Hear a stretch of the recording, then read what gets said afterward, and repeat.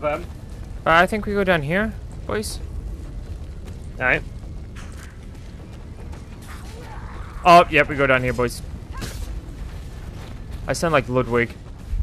Boys! Exciting hereabouts, isn't it, sir? Boys!